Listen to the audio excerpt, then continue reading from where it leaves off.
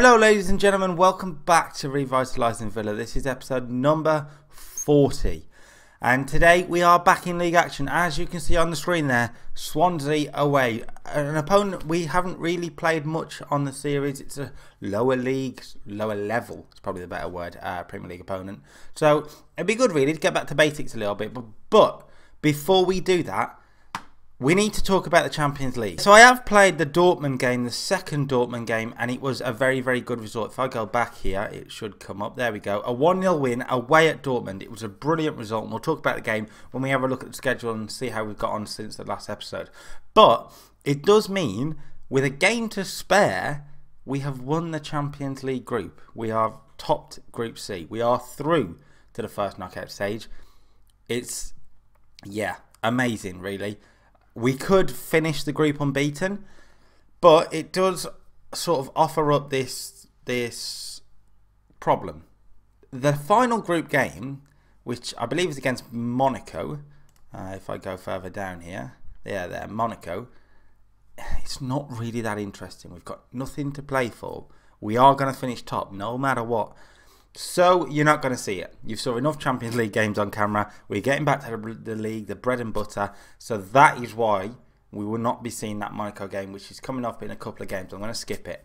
But just to let you know, that is why. Let's get on to the results since then, though. Okay, so it was last time that we beat Inter by a goal to nil. Deadpool on the score sheet. Giovanni Lo Celso being sent off disappointingly. And we lost then. Yeah, we, we don't lose too often, but we did lose.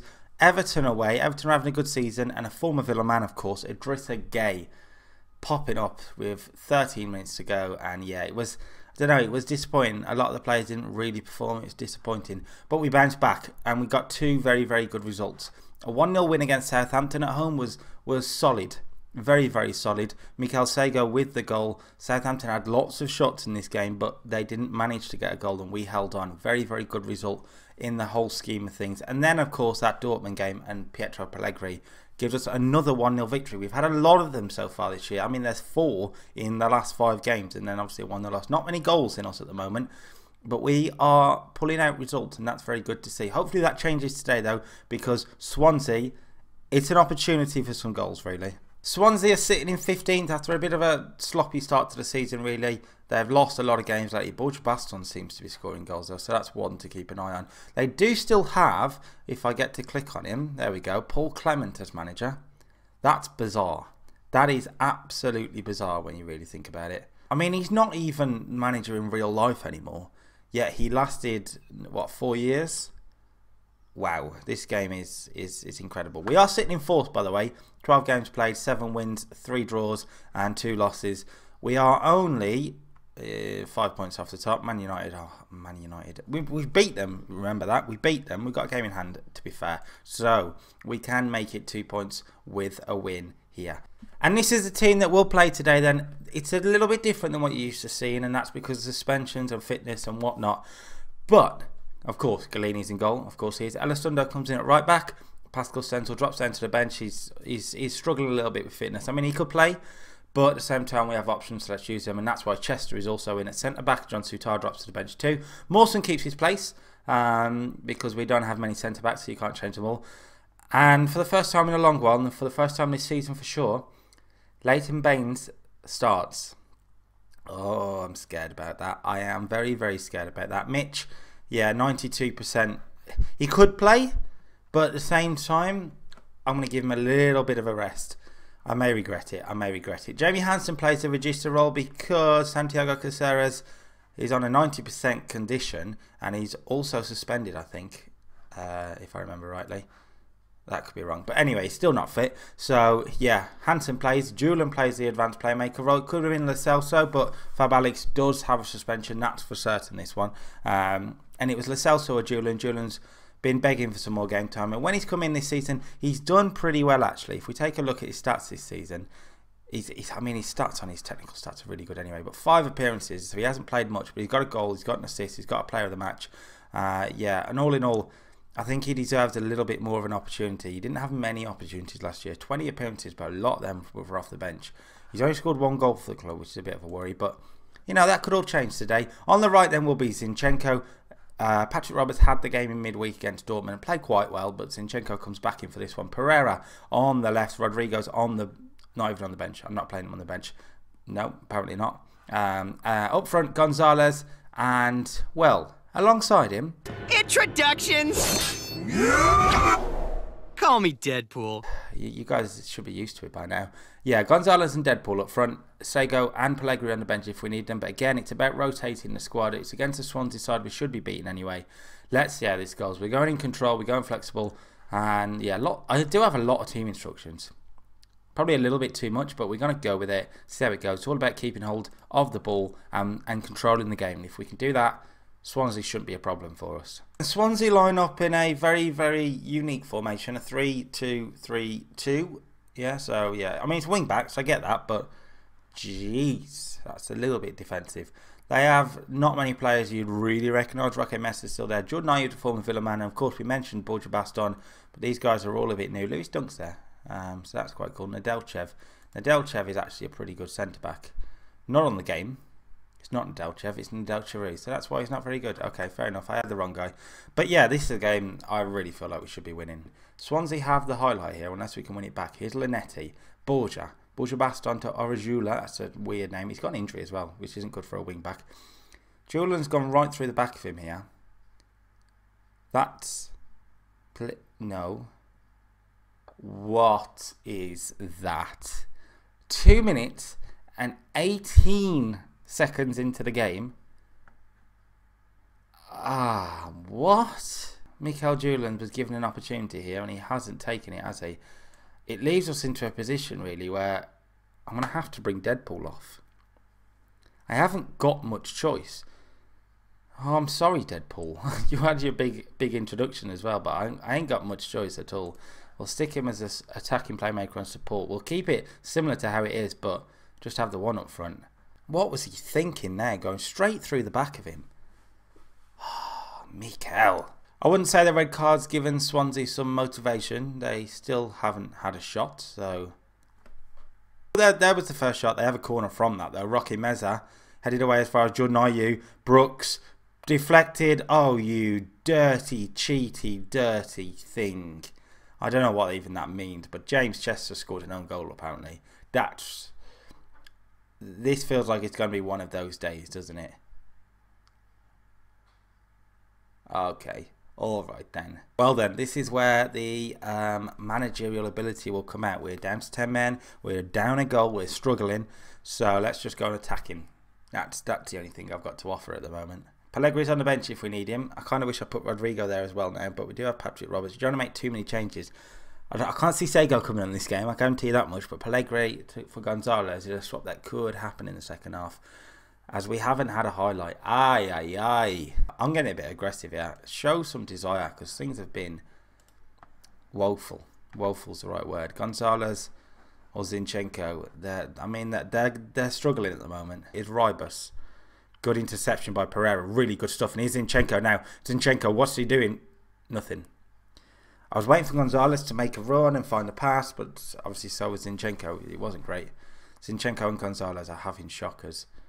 I'm just going to bring Gonzalez straight off. Let's stick Pellegrini on. Let's play him as a target man like he likes to play. I don't know if it's going to work, but I feel like it's the only option that we've got. Borja Baston, we haven't saw much of him. That was a dangerous thing to say. Celso with a good interception. Elizondo now looks over the top towards Pellegrini. Pellegrini? Pellegrini? I've got his name wrong now. Jeez. It's a Swansea highlight this though. Brooks, Ayew, Mantalos. They've got an extra man in the midfield now, of course. Ayew, oh, I think he's, he, yes, he hit the post. That was close. That was a little bit too close. Gollini's goal kick then, up towards Pellegrini, who's going to need people around him getting involved. Lo trying to do that. Pereira, who will be coming inside quite a lot. Pereira again. That's a smart pass. Pellegrini on the edge of the box. Zinchenko with a chance. And Raya sends the shot flying wide. Better though. Much better. Pereira's corner. Headed away at the near post. Roque Mesa's looking to get there, but Zinchenko's onto it. Pereira with a bit of a chance to find another cross here. He doesn't. Hansen back to Pereira. Good football. Pereira's cross. Dunk heads, heads clears away. And now I'm worried about what this highlight could be. I have a feeling that that might be the end of it. But we are still going here. Baines back to Pereira. Is there a goal here? Pereira, low cross. Zinchenko at the back post. It wasn't a low cross, it was a high one. And Zinchenko took advantage of some poor goalkeeping, it looks like, to score. He's had a bad game, but that will that will do the trick, won't it? What I'm going to do is bring Sago on. I said earlier I didn't think he'd play, but I really want to win this. So we're going to go back up to two up front. We're going to play Pellegrini and Sago, and we're going to go three at the back. And this could be a mistake, but I don't think what other choice we've got, really. We have a highlight here, though, or, there is a highlight in the game. It's headed... Oh, no. Now we look wide open. Alisson does got the ball, luckily, but Zinchenko, we can't afford to lose it like that. Jeez, one ball over the top. Jordan Ayew, Jordan Ayew. Gollini with a save. Oh, I'm regretting it already. I'm not changing it but I'm regretting it. Gollini long towards Sago. He's got time to bring it down. Brings Zinchenko into it.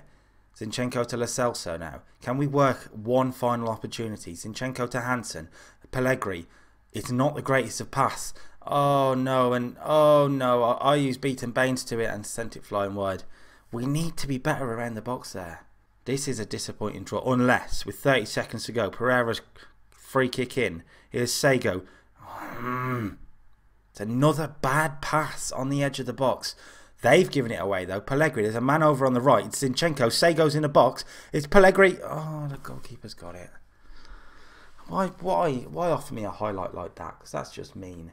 That'll be the end of the game as well. I mean, on one hand, we went down to 10 men after two minutes and we didn't lose the game. On the other hand, it's bloody Swansea. Let's get back on it because I'm, I'm I'm putting that out of our system. I'm not happy with that. And we have the perfect tonic, a home tie, bottom of the league. Oh, come on, it can't go. It can't go. It's gonna go wrong. It's gonna go wrong.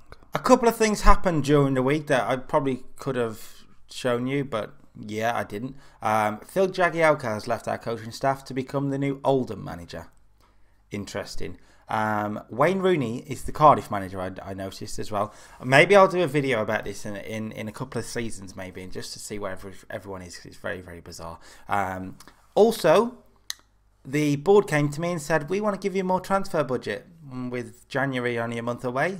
Oh, thank you very much. I need some defenders. Okay, I will say this now. This is a game where I don't accept anything but a win right now. Gollini will be in goal. Stenzel, Souttar, Mawson and Mitch is the back four back in there again. Uh, Caceres and Fab Alex, of course, are back in there. Zinchenko keeps his place. The only man, well, three men actually. Zinchenko, Mawson, and Gollini keep their place from the last one. So Rodrigo comes in on the left. Sego up front with Pellegrini. I am. I'm not playing Gonzalez. I'm playing Sego up front with Pellegrini because I think they work quite well together, and hopefully we'll see that again. We have to win this game. Look at these eyes. We have to win this game. They have John Obi Mikel. Why? Okay, Ryan Shawcross is there, Junior Stanislas, uh, Duncan Watmore, um, Salomon Rondon's up front, which is a little bit weird. They have a regen playing behind him. Craig Henry, on loan from Celtic. I mean, he's, he's pretty good actually for, for a 19 year old. Fair play. Fair play indeed. Interesting, John Souttar is making his 100th league appearance for the club today. He's been a really, really good signing. I have a feeling I may sign defenders that are going to come in and replace him now, but I mean, he's been brilliant, hasn't he? I feel sad about it if we do replace him, to be honest with you. Okay, here we go. Stanislas and Dong. They have a man over on the left where Zinchenko's just not getting back, really. Rodrigo. That's a good ball. Sago now. He's got Pellegrini in the box if he can find him. It's Sago's cross. It's Pellegrini at the near post. I mean, it's gone in. I'm, I'm not sure how. I'm not sure what Pellegrini does there, but it, looked like he tried to juggle. It was a great ball by Rodrigo. Sago running the lines really, really well. Lots of space, lots of time to pick out a cross. Near post, Pellegrini.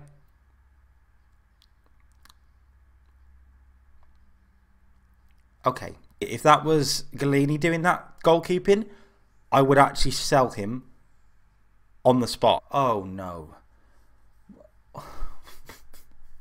lately things have not been going our way, and that is, yeah. I mean, we'll stick Deadpool on. We'll play the two young strikers, but Pietro, that's not good. That is not good. Hopefully, that's not a big injury. I don't think it will be. Hopefully, it'll just be a simple knock, but whoa, that's good. That that could be really bad. Here's Rondon and Dong. Are Sunderland going to find some confidence from that injury? John Obi Mikel to that to that regen Henry, Rondon. They're working it nicely here. Mikelto and Dong. Kone. Watmore.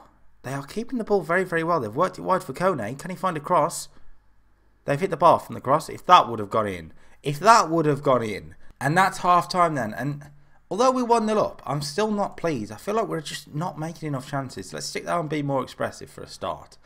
Um, and yeah, run at the defence a little bit more. The likes of Rodrigo and whatnot can get going here. We're not going to make any more changes, but things need to be better. I want to say things are going well, but you're capable of even better. Only John Souttar cared because he's the only one that always cared. John Souttar? John Souttar. It's like a tear in my heart more than anything when we replace him, but I don't want to talk about it. Joel's long kick then. It should be easy for Mawson. Don't mess about with it here. Mitch. See, that's good defending. That's good. Good. We've worked it out as well. Rodrigo's pass. Was looking for Sego again, but Sego wasn't quite on the same wavelength this time, which is a little bit disappointing. And Sunderland can pass it around at the back and trying to work something that they probably should have stuck to passing around at Mitch. Mitch. Mitch. Gollini's kick wasn't the best. Oh, dear God. What are we doing? Stanislas and Dong. This is dangerous. Souttar clears only as far as Mikel. Kone. They've got a lot of men forward. Henry. Kone. Oh, this feels so dangerous. And Dong sends it well over. Against the better teams, we're going to get punished for that stuff. Just over an hour played. Um, I'm going to get Rodrigo off. He's not having a good game, actually. And Patrick Roberts can come on. And we'll swap them to a round. So, yeah, we'll play an inside forward from this side on attack and Zinchenko can play as a winger on that side. He, he can do that job pretty well. We, we know that. We've made more shots in. We've had more shots in the second half, but we haven't actually made any decent chances. So, yeah, Zinchenko's now got a bad knock, and he's he's he's got to come off. This isn't good. Bruised ankle. I mean, Gonzalez can play there. Apparently. Okay. All right then. Sure. Whatever. Whatever. Whatever. Game. See, I wouldn't say this is a convincing victory. Time's ticked right away, and it looks like we are going to win the game. But, yeah, it hasn't been good either, has it?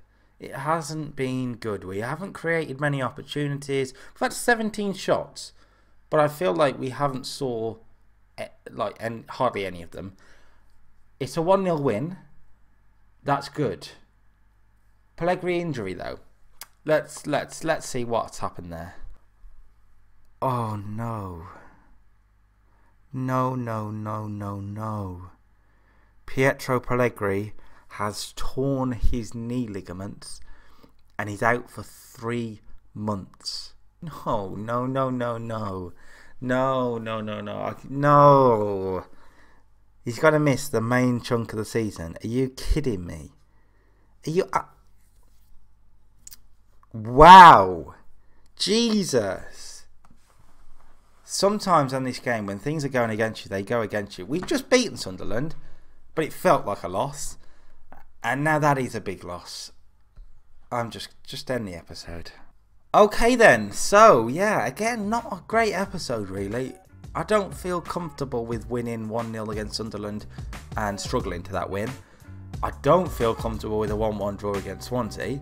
And I really don't feel comfortable with Pietro Pellegrini being out for three months after I signed him for how many million at the start of the season. He's had a pretty good start to the season, and now the main crutch of it, he's going to be injured. I mean, game, you know how to rile me up, and you, have certainly done that here. If you like this episode, and there's something wrong with you if you did, but if, if you like this episode, then like the like the video, subscribe to the channel, drop me a comment. You guys know the drill. Do all those things. I mean, next episode things need to pick up because I am feeling feeling something and it's not good. Until then, from me to you, goodbye.